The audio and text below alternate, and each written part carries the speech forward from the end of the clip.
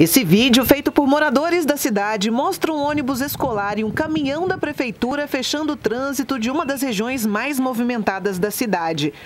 Nas faixas, a crítica é para os vereadores do município, por não votarem o projeto de lei que pede crédito suplementar para o pagamento de despesas da administração municipal. Depois que as ruas foram liberadas, os veículos continuaram parados. O prefeito Caio Lima, do Partido Progressista, disse que tomou a medida drástica porque não teria mais dinheiro para pagar as contas. Enquanto não for liberada essa suplementação, eu não poderei fazer nenhum pagamento Caso contrário, eu cometerei uma improbidade administrativa. Feirantes e moradores que passaram pela praça estranharam a cena. Ah, a gente fica sem graça, né?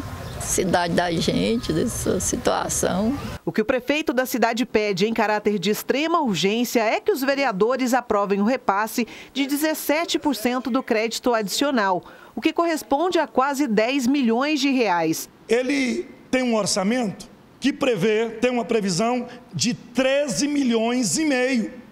Fora isso, ficou um superávit do ano passado que nós voltamos agora com mais de 8 milhões. Desses recursos, aproximadamente 4 milhões é da saúde.